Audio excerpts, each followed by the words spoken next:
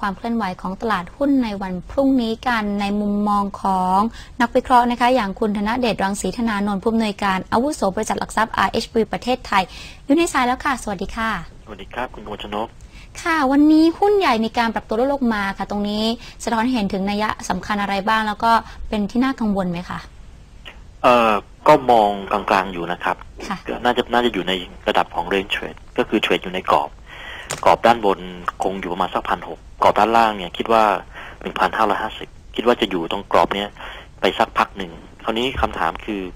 อามีอะไรที่เราควรต้องจับตาดูเป็นพิเศษหรือไม่ค่ะนะครับเอ่อถ้าให้น้ำหนักในช่วงนี้ในประเทศเนี่ยผมคิดว่าเรามีปัจจัยที่เป็นบวกเรื่องของเศรษฐกิจ ก็คือเรื่องของสสคที่ปรับเพิ่ม ตัวการคาดการณ์เศรษฐกิจปีนี้เป็น 3.6เปอร์เซ็นต์ ค่ะปีที่แล้ว3.2เปอร์เซ็นต์แล้วก็หลักๆเนี่ยจะมาจากการผลักดันในประเทศก็คือ การลงทุนโครงสร้างพื้นฐาน แล้วก็ปีนี้เราน่าจะเห็นการลงทุนภาคเอกชนที่มากขึ้นค่ะนั่นคือสัญญาณเชิงบวกต่อเนื่องต่อการใช้จ่ายและการบริโภค แล้วเราไม่แปลกใจที่จะเห็นหุ้นกลุ่มที่เกี่ยวข้องกับการปล่อยสินเชื่อค่อนข้างดีคือแบงก์ส่งออกปีนี้น่าจะฟื้นตัวงั้น ภาพภาพในประเทศที่มองมาตลอดคือ เป็นภาพที่ค่อนข้างจะเป็นบวกค่ะจากจากเรื่องของการเติบโตภายในที่ผลักดันได้ด้วย เรื่องของตัวรัฐบาล นะครับเอ่องบการเงินน่าจะประกาศออกมา ผมเชื่อว่าอ่าน่าจะรอคอยอีกสักนิดหนึ่งว่าเราจะเห็นว่าปีนี้การเติบโตของของตัวบริษัทจดทะเบียนเป็นยังไง แต่เราก็คิดว่าน่าจะเติบโตต่อเนื่องได้บวกลบสิบเปอร์เซ็นต์งั้นเนี่ยภาพของตัวบริษัทจดทะเบียนเนี่ยผมคิดว่ายังเติบโตได้อันนี้ค่ะจุดที่มันอาจจะเป็นตัวแปรหลักค่ะว่าจากนี้ไปหุ้นมันจะมีความผันผวนมากน้อยแค่ไหนเนี่ย มันจะไปอยู่ที่ปัจจัยต่างประเทศค่ะก็คือ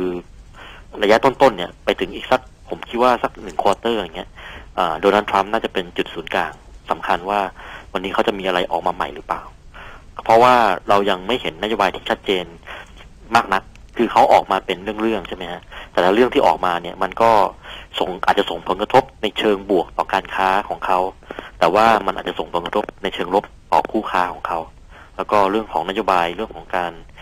แรงงานต่างชาติ อันนี้เนี่ยมันอาจจะไม่ได้ส่งผลเชิงเศรษฐกิจ แต่ผมคิดว่าในเชิงเซนิเมนต์หรือว่า เชิงสังคมและการเมืองเนี่ย เข้มขึ้น เพราะว่าหลายๆคนก็เหมือนกับออกมากดดันผู้นำของตัวเอง ที่จะที่จะเรียกว่าไม่ไม่ไม่ชอบพอกับนโยบายของโดนัลด์ทรัมป์เรื่องของแรงงานงั้นตรงนี้นี่เองเนี่ยประเมินในภาพเศรษฐกิจเนี่ยอาจจะยังยากอยู่ แต่ว่าถ้าค่ะดูผลกระทบที่เกิดขึ้นจากตรงนี้แล้วเนี่ย ผมเชื่อว่าจะเป็นแรงกดดันและทำให้หุ้นเนี่ยผันผวนไปสักพักหนึ่งส่วนเรื่องเศรษฐกิจเนี่ย ก็ยังไม่ชัดเท่าไหร่ เพียงแต่ว่าสิ่งที่เราเห็นได้ชัดของโดนัลด์ทรัมป์ตั้งแต่ที่เขาหาเสียงมาคือหนึ่งเนี่ยเขาโปรอเมริกา ก็คือหนึ่งค่ะจะดึงทุกอย่างกลับมาลงทุนในอเมริกา จะใช้วัตถุดิบของอเมริกาอืมนั่นค่ะหมายความว่าเขาก็จะมองว่าโอเคละเขาเป็นหรือว่าเป็นขนาดเศรษฐกิจขนาดใหญ่เขาต้องมีอำนาจต่อรอง ซึ่งตรงเนี้ยผมเชื่อว่าจะทำให้การลงทุนของภูมิภาคหรือโลกเนี่ยชะงักงานไปสักพักหนึ่งเพ ราะว่าทุกคนก็อยากจะดูว่าสุดท้ายแล้วเขาต้องทำยังไง แล้วก็ทุกคนมันจะเปลี่ยนแปลงงั้นนะตรงเนี้ยผมเชื่อว่ามันคงอยู่ในหมวดของการเวทแอนซีความชัดเจนของโดนัลด์ทรัมป์ซึ่งมันก็จะมีผลทำให้หุ้นเนี่ยไม่สามารถจะปรับต่อขึ้นไปได้นะครับ แล้วก็เอ่อเรื่องของเฟดเองคืนนี้อ่าอาจจะไม่ใช่เรื่องของการดอกเบี้ย แต่ว่าอาจจะเป็นค่ะเรื่องของมุมมองเศรษฐกิจต่างๆนะครับเอ่อ การจ้างงานต่างๆ งั้น ถ้าไล่เรียงดูแล้วเนี่ยเอ่อมันก็ยังเป็นเรื่องเดิมๆอยู่ ไม่ว่าจะเป็นเรื่องของทรัมป์เรื่องของเฟดนะครับ แล้วก็ในประเทศก็ค่ะเป็นเรื่องการลงทุน ซึ่งผมคิดว่าพรุ่งนี้เป็นยังไงเนี่ยอืมค่ะก็ก็ยังมองว่า range trade นะฮะคือโอกาสที่จะเทรดเนี่ยเนื่องจากว่าปัจจัยใหม่ ๆ ที่เข้ามาเนี่ยค่ะมันที่เสริมในเชิงของตัวเอาลุกเนี่ยมันไม่ชัดเจน เพราะว่าค่ะมันต้องรอความชัดเจนเรื่องของโดนัลด์ทรัมป์เนี่ยเนี่ยเราคงอยู่ในภาวะที่ค่อนข้างอึดอัดคือเทรดอยู่ค่ะในกรอบ อย่างที่ผมบอกให้ทราบก็คือ 1,550 ลงแล้วก็ด้านบนขึ้นนั่นหมายว่า ถ้าหุ้นปรับขึ้นก็ก็ทยอยขายออกถ้าด้านลงลงมา ถ้าจุดที่คิดว่าพอมีน้ำหนักในการเข้าซื้อก็ 1,550 แล้วก็อยากจะเน้นหุ้นที่มีมีได้ประโยชน์จากการเติบโตทางเศรษฐกิจแล้วก็การลงทุนรัฐมากหน่อยก็จะเป็นหุ้นในกลุ่มธนาคาร ซึ่งเราเห็นว่าตั้งแต่ปลายปีจนถึงต้นปีเนี่ยหุ้นกลุ่มธนาคารค่อนข้างออกฟอร์มซึ่งผมเชื่อว่าจะเป็นหุ้น Big Cap ที่นำตลาดในปีนี้ นะครับไม่ว่าจะเป็นหุ้นแบงก์ใหญ่ BBL K Bank ECB เนี่ยปีนี้น่าจะค่อนข้างดีหุ้นการก่อสร้าง หรือหุ้นที่เกี่ยวข้องกับอ่าอ่าการก่อสร้างพวกวัสดุก่อสร้างหรือว่าเรื่องของตัวอ่าบริษัทก่อสร้างเนี่ยปีนี้น่าจะเป็นค่ะปีซึ่งได้ประโยชน์จากการลงทุนของรัฐครับ